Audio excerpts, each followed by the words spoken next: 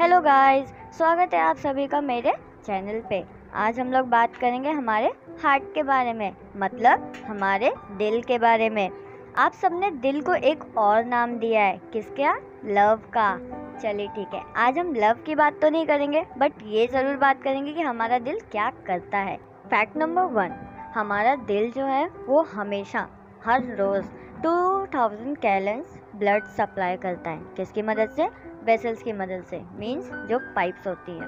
Fact number two हमारा दिल जो है, वो अगर हमारी बॉडी से अलग भी कर दिया गया तो भी कोई फ़र्क नहीं पड़ता। वो तभी भी बीट्स कंटिन्यू करता ही रहता है। उसको कोई फ़र्क नहीं पड़ता, चाहे वो बॉडी में रहे या ना रहे।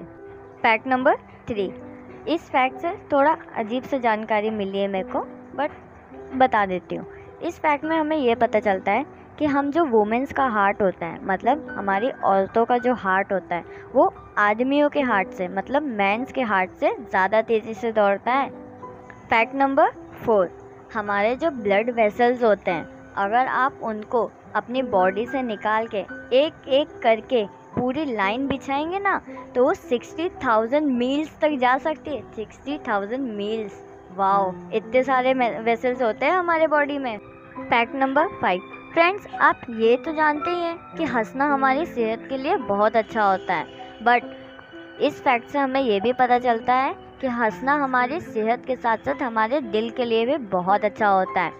ये अलग बात है कि आप अपने बॉडी के साथ कैसे रहते हैं, क्या करते हैं। मतलब डाइट्स करना एक्सरसाइज करना हद से ज़्यादा, वो आपके सेहत के लिए और दिल के लिए हानिकारक साबित हो सकता है। अगर आप हार्ट अटैक और स्ट्रेस डिप्रेशन इन सबसे दूर रहना चाहते हैं तो प्लीज़ हँसते रहिए और मुस्कुराते रहिए अपनी ज़िंदगी में। प्रॉब्लम्स तो आती जाती रहती हैं।